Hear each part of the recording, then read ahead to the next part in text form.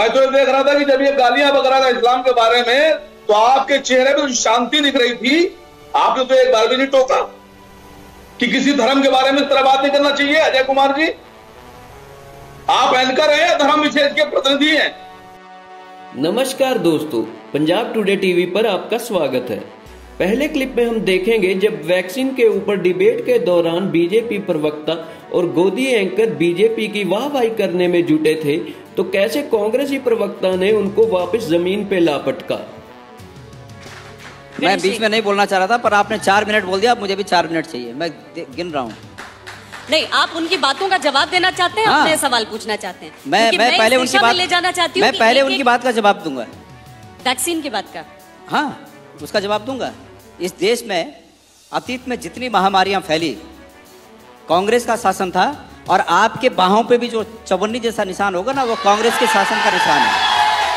और और और ये भी बता दूँ आपको, अभी तक जितनी सरकारें आई, सभी सरकारों ने मुफ़्त टीकाकरण किया, मुफ़्त। आप कोई नया काम नहीं कर रहे हैं। हाँ ये ज़रूर है कि पहली बार हो रहा है कि अगर टीका भी लग रहा है तो उसमें प्रधानमंत्री जी की फ़ोटो पहले दिख रही है कि भाई ये ही। हैं ये हैं करके आप बचे हो। ये नहीं रहेंगे तो ये ज़बरदस्ती किसी के मनस में बिठाया जा रहा है कि ये हैं करके ये टीका आया। और टीका कहाँ बना? कांग्रेस के द्वारा निर्मित प्रयोगशालाओं में टीका बना है। आप भूल जाइए। आपने सात साल में अगर एक नई प्रयोगशाला बनाई हो, आप बड़े ज़ोर शोर से कहते हैं कि ऋषिकेश से और कर्णप्रयाग की रेल लाइन हमारी उपलब्धि है। आपकी खाक उपलब्धि है, आप दूसरे के कामों पर कब्जा करने की कोशिश कर रहे हैं। आपको याद दिला दूँ? और यह कोशिश नहीं होनी चाहिए। हम इस कोशिश का पुरजोर विरोध करेंगे। आप विकास करिए वो विकास कार्यों के नाम लीजिए, हमें खुशी होगी। लेकिन ऋषिकेश कर्णप्रयाग रेल लाइन, एंटनी जी ने उसका शिलान्यास किया। यूपीए टू की सरकार में उसके लिए बजट पारित हुआ, काम चालू हुआ। अब आपके समय में वो पूरा हो, अच्छी बात है। लेकिन दूसरे के कामों पर श्रेय मत लीजिए। अगले क्लिप में सही गलत शायद बात की बात है पर न्यूज़ चैनल्स पर सिर्फ़ हिंदू मुस्लिम हिजाब साड़ी के नाम पर डिबेट करना बिल्कुल पत्रकारिता पर कलंक है। इस क्लिप में देखिए कैसे मिला इन सब एंकर और हिजाब के खिलाफ बोलने वालों को मुँह तोड़ जवाब। बोलिए पूछिए पूछिए। जी यही था कि क्या बेवजह अब इस चीज़ को इतना बड़ा कर दिया गया है? बेवजह इस विरोध को इतना बड़ा कर दिया गया है कि अब इसने राजनीतिक रंग ले लिया है? देखिए राजनीति है ये बीजेपी की क्योंकि हिजाब, पगड़ी, तिलक, बिंदी, ये सब कुछ भी नहीं है। जिस देश का प्रधानमंत्री के पास दो दो फेक डिग्रीज होना उस देश के स्कूलों में मज़हब की बात होगी एजुकेशन की नहीं होगी, इसलिए ये हो रहा है, देश को बांट रहे और कोई दूसरी बात है नहीं। नहीं आती, उनका कोई इलाज नहीं है, उनका छोड़ दीजिए। मुझे कुछ बोलने का मौका दीजिए। हम आहा भी करते हैं तो हो जाते हैं बदनाम, वो कत्ल भी करते हैं तो चर्चा नहीं होती बार वीडियो देख लीजिएगा।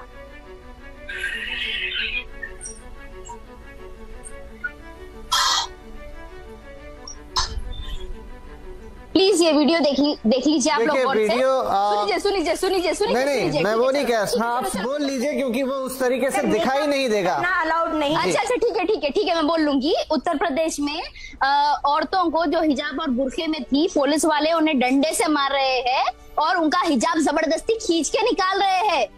ये क्या तरीका है भाई? ये क्या तरीका है? मैं शहजाद पूनावाला से पूछना चाहती हूँ उत्तर प्रदेश में।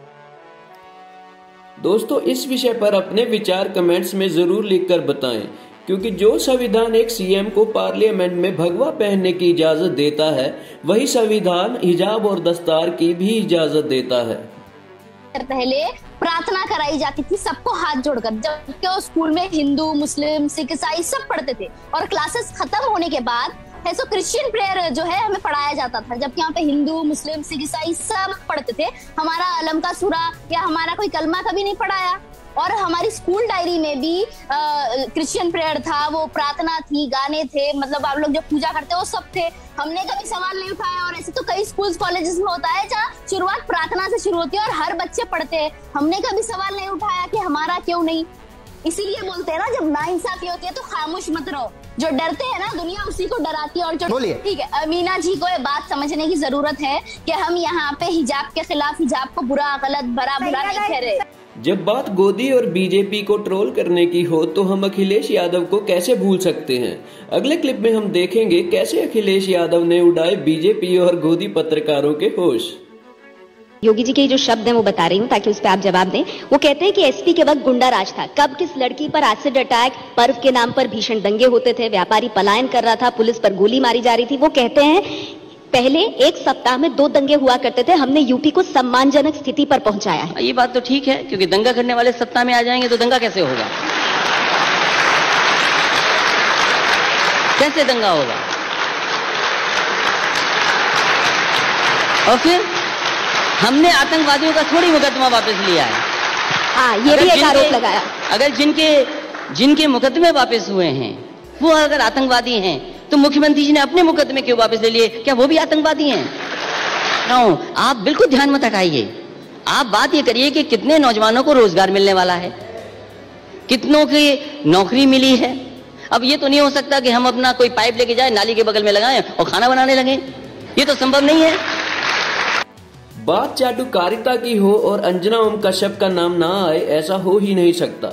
अगले क्लिप में देखिए कैसे एमएम अध्यक्ष असदुद्दीन ओवैसी ने अंजना को बताया कि नरेंद्र मोदी को क्रिटिसाइज करना, देश को क्रिटिसाइज करना नहीं है और अंजना की बोलती बंद हो गई।